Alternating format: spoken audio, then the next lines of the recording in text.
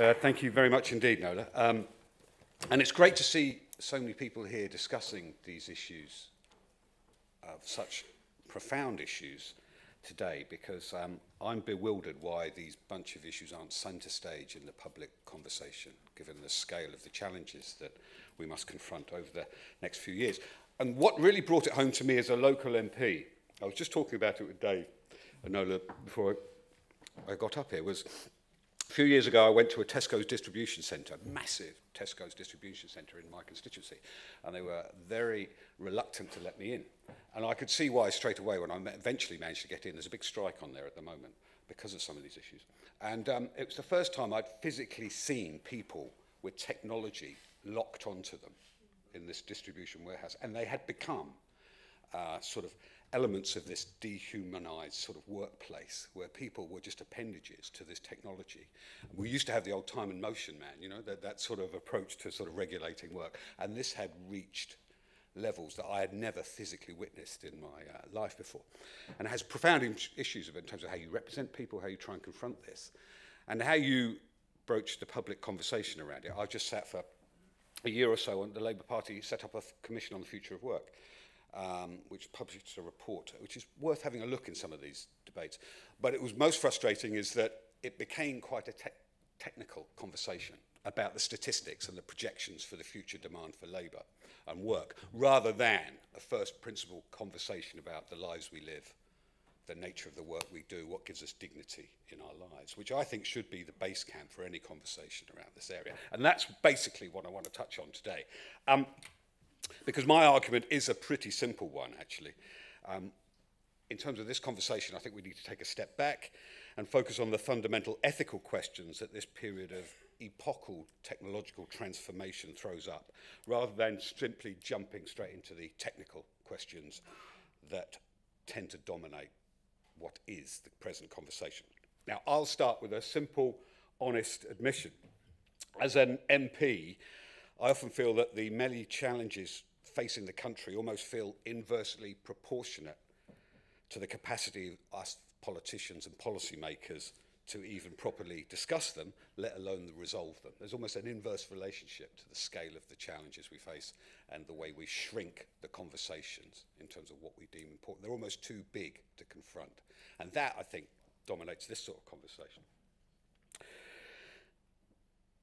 This is not a trite point, a simple hit at what is often called the technocracy, the political law policy elites. It speaks to a more general ability or not for liberal democracies to navigate the complexities of the modern world.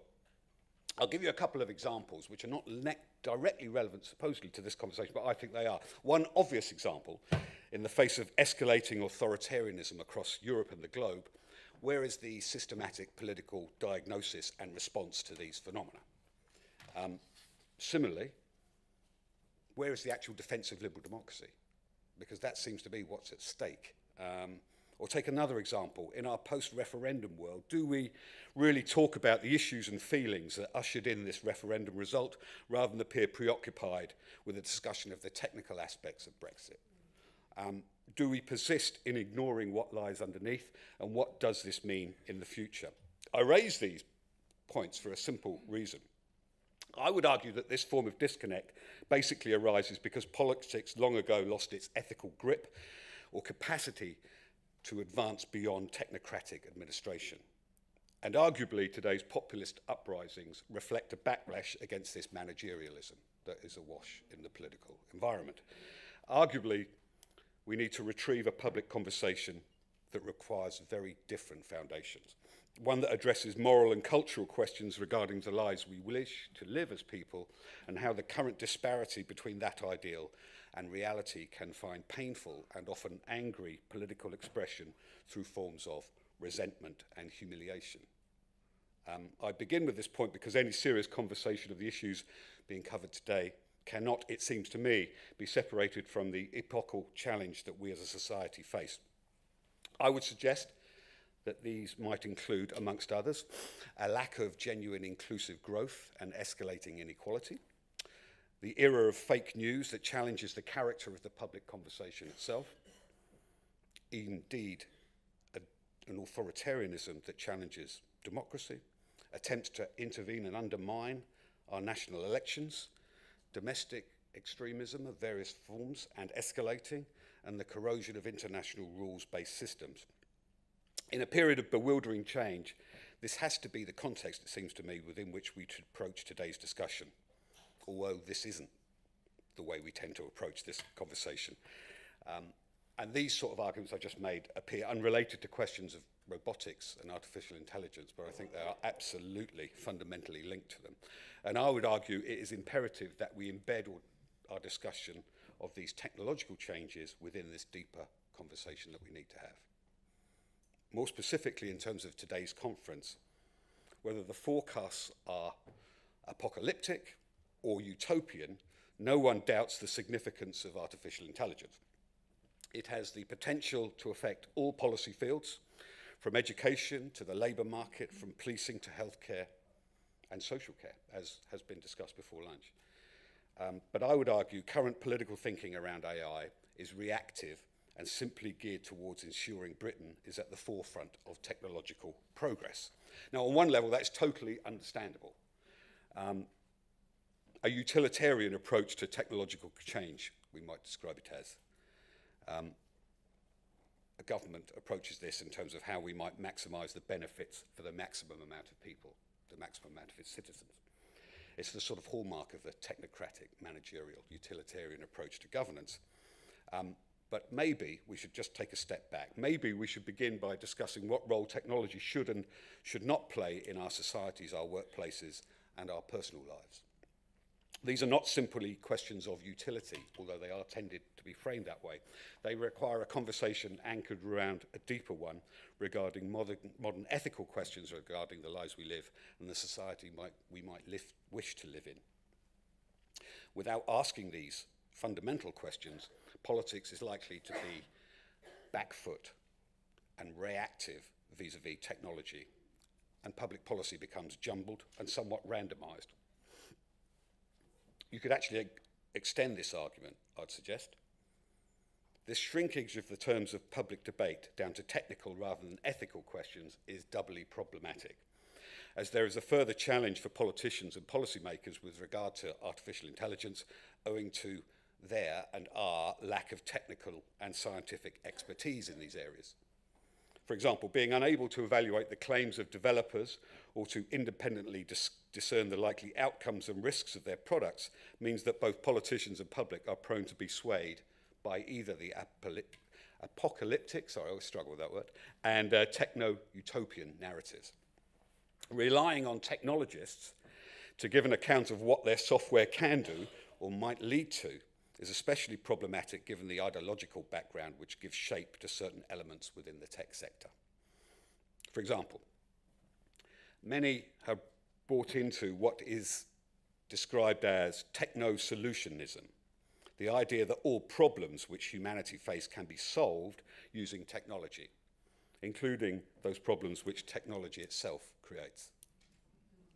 For many in Silicon Valley, this confidence in the potential of technology goes hand in hand with forms of libertarianism as the role of technology, and hence their profit margins, expands, so should the role of the state, they believe, contract.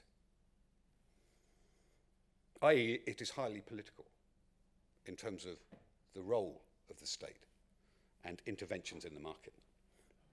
Then there are those who approach these issues from a transhumanist background, Modern transhumanism asserts that technological change creates the opportunity tra to transcend the human condition, of becoming transhuman.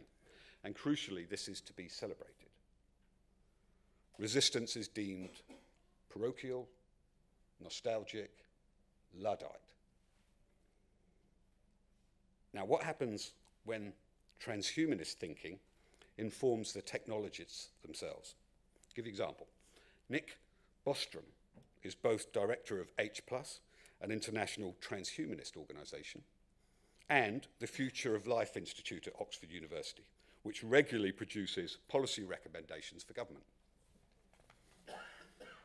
So there's a desperate need for policymakers to avoid being captivated by the promise of technological progress without an appreciation of the philosophical assumptions that might inform this thinking and engage critically with new arguments in this field.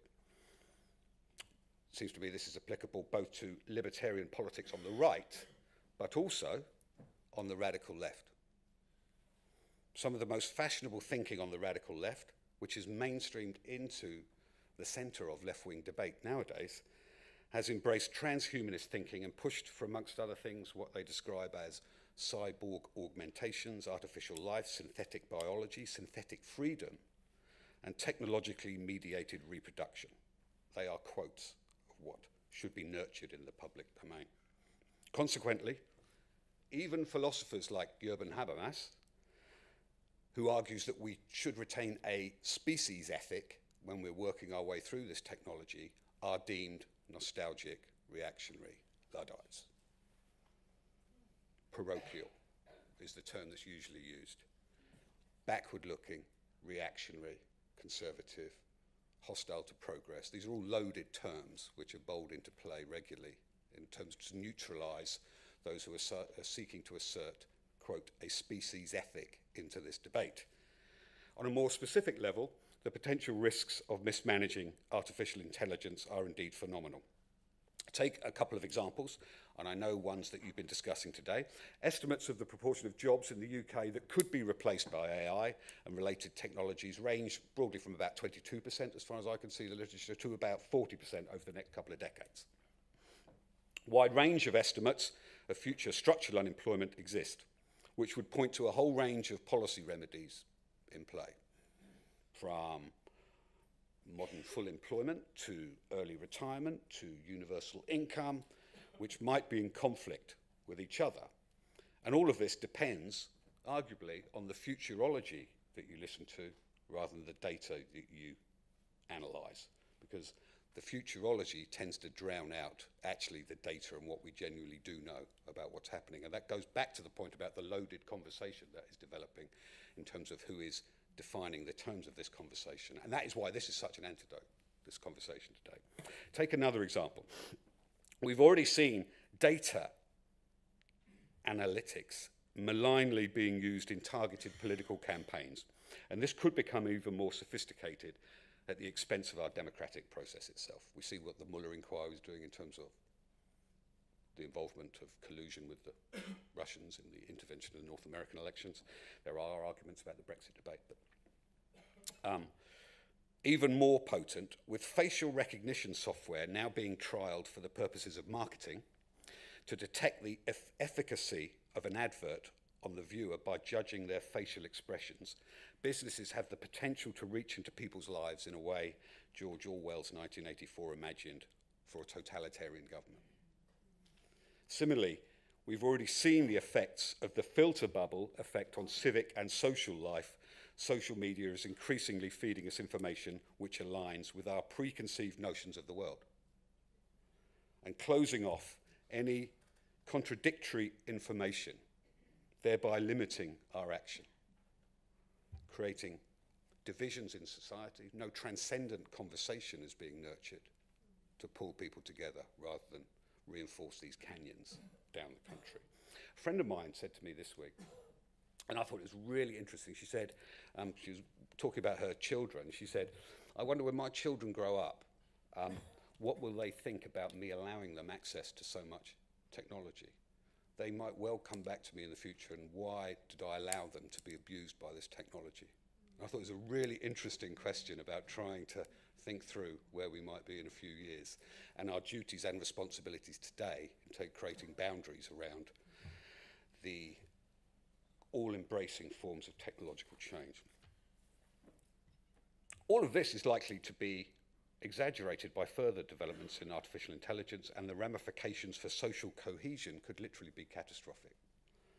Public debate could also suffer from the ease with which fake news could be produced on an industrial scale, given that AI makes the processing and manipulating of all forms of digital data substantially easier and cheaper.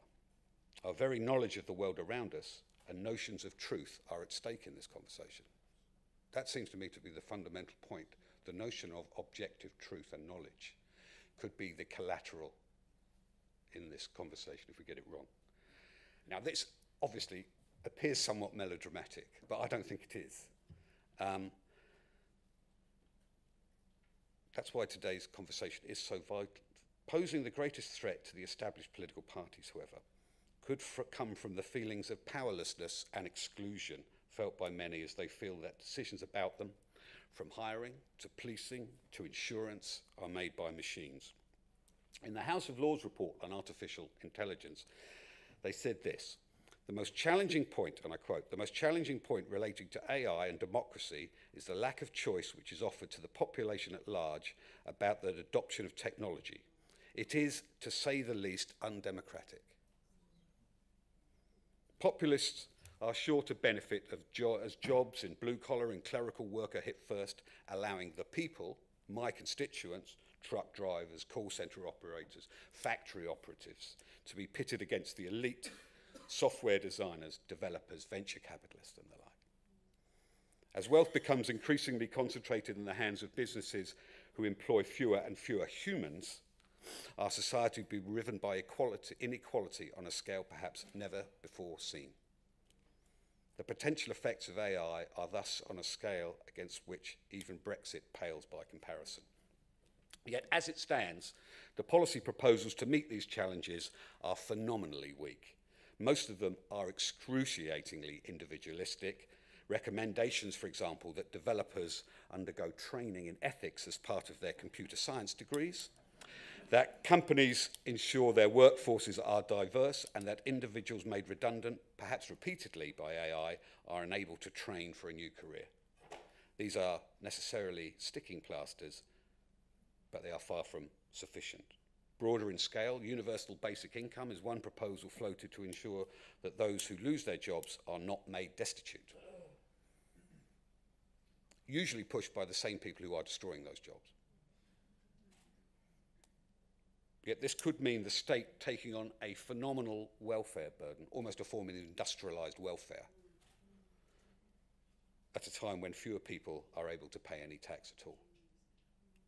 So, to make up for this perceived deficit, it's then proposed that government budgets are supplemented by a robot tax. But this too is problematic. Would we tax algorithms as well as robots? What about vending machines? Trying to define a robot would be a legal and regulatory nightmare. Seems to me all of the leading technologists are offloading a lot of these fiscal concerns or democratic concerns um, to cover themselves with certain remedies that allow them to get out from under their deeper responsibility stroke culpability in terms of the world tilting through these technological changes. It also runs the risk of companies which wish to use robots moving to countries without such a robot tax. To be effective, we would need all countries to agree on enforcing such a levy. As the contradictory directions of these two proposals show, when policy is solely reactive, bending to suit the technologists' goals, it becomes incoherent. Before we make good policies, then, we need to return to first principles, asking questions about the values we place on work, freedom, privacy, community, and a deeper conception of justice. In short, about what type of society we want to build. From there, we can discern the role we wish to allocate to technology rather than it being seduced by the hype of novelty and processing power. We can then decide from first principles the ethical environment and responsibilities of the technologists and their platforms. I would argue that we should remember that just because a technologist devises a solution, that does not mean we have to agree with them on their definition of a problem. Here's the shock. We might find the need they may have been most keen to address was in reality their own profit margins.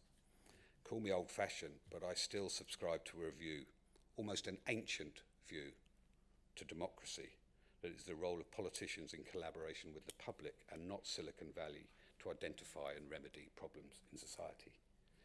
If we do not build policy upon a well-defined vision of human flourishing, pol policymakers run the risk of slipping into techno-solutionism thereby putting technological and economic progress above people, leaving them to become citizens of corporations, in effect.